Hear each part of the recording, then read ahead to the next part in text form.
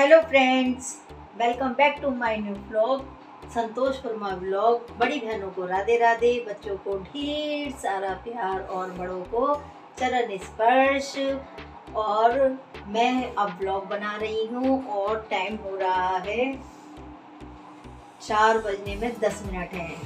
तब मैंने ब्लॉग बनाना शुरू किया है और आज सुबह से मैं सो रही थी। तो मेरी तबीयत ठीक नहीं थी, मैंने आप लोगों के साथ में जैसे शेयर किया था तो मैं शाम को गई थी, कल शाम को डॉक्टर से दवाई लेने के लिए पेट दर्द की और पेट में गैस बन गई थी। इस वजह से पेट में बहुत दुखन था, बहुत ही पेट दुख रहा था। तो फिर मुझे डॉक्टर ने दवाई दी है और बस मैंने दवाई लेकर आई हूँ और हल्का खाना खाने के लिए बोला है। तो अब चार बज गई हैं तो मैं उठी थी साढ़े तीन बजे।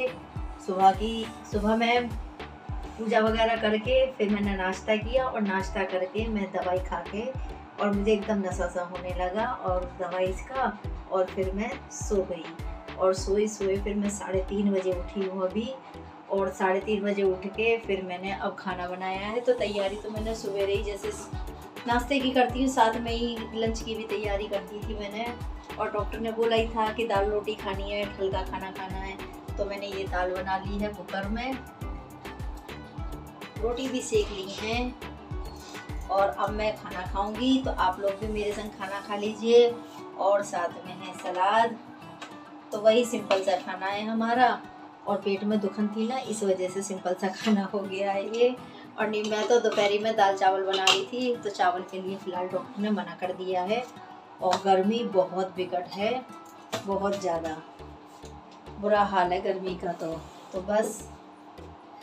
आप लोग मुझे बताना आपके शहर में कैसी कैसी गर्मी पड़ रही है। इतनी भयंकर वाली गर्मी पड़ रही है कि बारिश भी हो रही है और सच में यहाँ बिल्कुल भी बारिश नहीं हो रही है। तो आप लोग मुझे कमेंट करके ज़रूर बताना कि आपके शहर में बारिश हो रही है कि नहीं हो रही और आप लोग मुझे कहाँ कहाँ से देखते हो।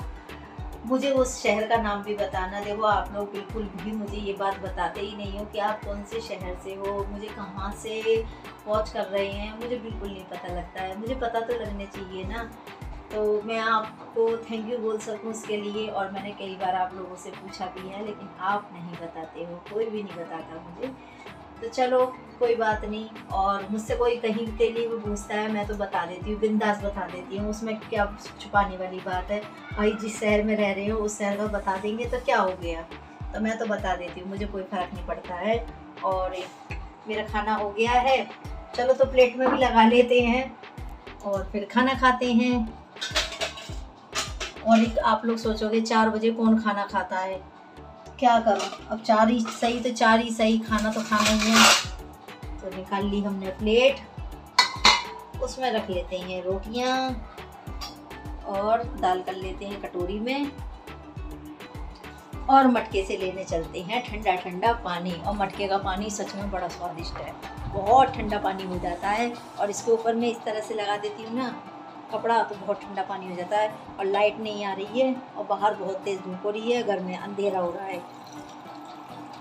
इतना पानी ठंडा ठंडा रहता है ना, मुझे उम्मीद नहीं थी। और पहले वाला मटका था ना ये, मेरा, उससे भी ज़्यादा ठंडा पानी इस वाले मटके का है, बहुत ठंडा पानी रहता है। और बाहर ऐसा लग रहा था अंधेरा अंधेरा अंदर जाके घर थोड़ा उजाला सा आया है। तो चलिए फ्रेंड्स, खाना खा लेते हैं, दाल, रोटी, सलाद और मटके का पानी। अंदर लेके चलते हैं इसे और यहाँ मेरा बेटा भी खाना खा रहा है। यशु, देखो, इसकी भी तबीयत बिल्कुल भी ठीक नहीं है। इसको फीवर आ गया है। मौसम चेंज हो रहा है, इस वजह से इसको फीवर आ गया है। तो चलिए, अब पहले मैं खाना खा लेती हूँ, फिर आप लोगों से मिलती हूँ।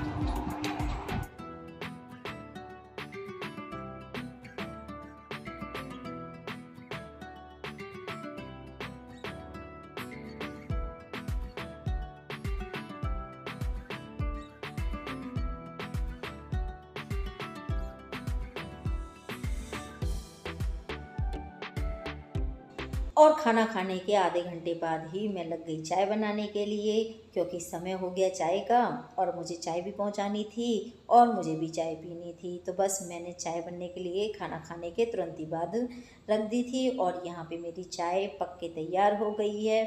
तो दूध, चीनी, चाय पत्ती तो मैं डाल चुकी हूँ और उसके बाद में आज कुछ गुनगुनाने का मन कर रहा था।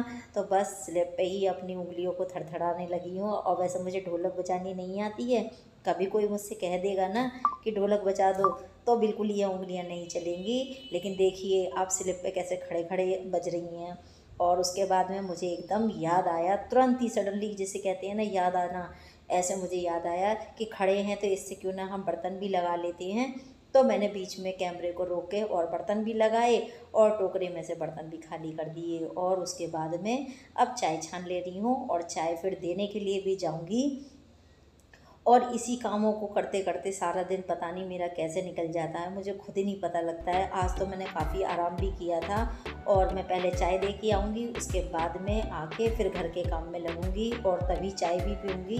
क्योंकि अगर मैं चाय पीने के लिए लग गई तो फिर बहुत देर हो जाएगी और उन लोगों की चाय भी ठंडी हो जाएगी। और मैं उधर चाय लेके पहुँची तो वो लोग कहने लगे कि, मैडम, यहाँ तो पानी ही नहीं है। तो मैंने टैंक जाके देखा ऊपर छत पे और टैंक देखा तो बिल्कुल खाली पड़ा था। मोटर चलाई तो भी पानी नहीं आ रहा था। फिर मैंने पता नहीं कैसे कैसे पड़ोसियों की मदद से पानी की व्यवस्था बनाई और उस चक्कर में मेरे दो घंटे ख़राब हो गए। फिर मैं आके लगी यहाँ आठ बजे। आठ बजे आके और वो जो चाय रखी थी, पीछे से यश ने गर्म करके खुद ही पी ली और मेरे लिए नहीं छोड़ी। तो मैंने आज चाय भी नहीं पी और फिर आने के बाद में इतनी लेट हो गई थी ना कि फिर मुझे चाय की याद नहीं आ रही थी, फिर मुझे काम की याद आ रही थी कि जल्दी जल्दी मैं काम कर लूँ तो मेरा बहुत जल्दी निबट जाएगा और साढ़े आठ बज गए भाई, साढ़े आठ बजे तक तो खाने पीने का इंतज़ाम हो जाना चाहिए। लेकिन अभी तो मैं आई हूँ और दोपहरी के बर्तन भी पड़े हैं मांजने के लिए। तो बस मैं जल्दी जल्दी से लग गई हूँ काम करने में। और सबसे पहले अब ये सारे बर्तन जितने भी हैं, इन सबको इकट्ठा करूँगी और इन्हें पानी भर के रख दूँगी। और उसके बाद मैं स्लैब साफ़ वगैरह कर दूँगी और मैं सबसे पहले बर्तन वॉश करूँगी। बर्तन वॉश कर लूँगी ना तो इससे एक दिमाग में से हेडक ख़त्म हो जाएगी कि अभी मुझे बर्तन भी वॉश करने हैं। दिमाग में ना वो चीज़ चलती रहती है, अरे, ये काम नहीं हुआ, अभी ये काम नहीं हुआ। इस तरह से। तो एक काम को कम से कम अंजाम पे पहुँचा दूँगी तो दिमाग से एक काम तो उतर जाएगा। और फिर तो मैं दूसरे कामों में लगी जाऊँगी और आज मुझे सब्ज़ी नहीं बनानी है, क्योंकि सुबह मैंने जब सब्ज़ी बनाई थी ना तो दो तरह की सब्ज़ी बनाई थी। एक भिंडी की सब्ज़ी बनाई थी और दाल बनाई थी। तो दाल तो मैंने अपने लिए और शानू के लिए बनाई थी, क्योंकि डॉक्टर ने मुझे दाल के लिए बोला था और भिंडी नहीं बोला था। तो इस तरह से मैंने दो सब्ज़ियाँ बनाई थी तो दाल भी बनाई थी और भिंडी भी बनाई थी। तो करीबन आधा कटोरी भिंडी भी बच गई है और दो कटोरी करीबन दाल भी बच गई है। तो इस तरह से मेरी दोनों सब्ज़ियाँ थोड़ी थोड़ी बची हुई हैं। तो अब बस मुझे जल्दी से कटना है, पहले किचन की क्लीनिंग करने के बाद में मैंने बर्तन वॉश कर लिए हैं और बर्तन वॉश करने के बाद में मैं अब फटाफट से घर के और कामों में लग जाऊँगी। और जब मैं बर्तन वॉश करने लगी तो देखा अपनी भी टंकी में पानी नहीं है, टंकी खाली हो चुकी थी। तो सबसे पहले बीच में से हाथ रोक के आई हूँ। आने के बाद में मोटर चलाई है और मोटर चला के अब मैं इधर का घर का मतलब जो बर्तन वगैरह हैं, इन्हें वॉश करूँगी। तो देखो कैसे मैं अकेली दोनों घर को मैनेज करके चल रही हूँ। घर को, किचन को, कैसे अकेली मैनेज करके चल रही हूँ। सच में बहुत परेशानी हो जाती है मुझे। इधर का करके जाओ, फिर उधर देखो, फिर उधर से आओ, इधर देखो। दिन भर मेरे इतने चक्कर लगते रहते हैं कि मुझे होश नहीं होता है। और आज मैं सो गई थी ना उस चक्कर में आज उधर भी पानी नहीं है और इधर भी पानी नहीं है। नहीं तो मैं दोपहरी के टाइम में वहाँ चली जाती हूँ तो पानी की व्यवस्था बनी रहती है उधर भी। और इधर भी आ जाती हूँ शाम को चाय वगैरह बनाने के लिए तो यहाँ भी पानी रहता है। और आज मुझे दवाई ऐसी दे दी डॉक्टर ने कि मैं आराम में ही लगी रह गई और मुझे सोते सोते में ये हाल हो गया कि ना आज उधर पानी था टैंक में, ना इधर था पानी टैंक में।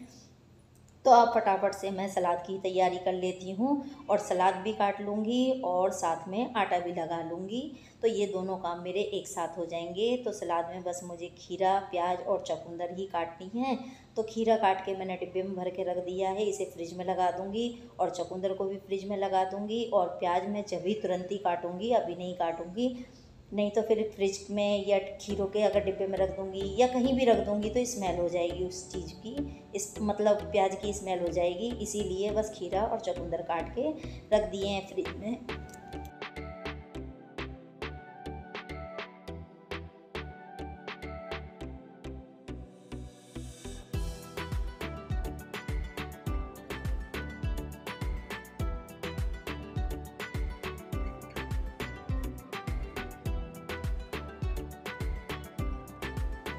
और रात को आठ बजे तो मैं बाहर से कपड़े उतार के लेकर आई हूँ।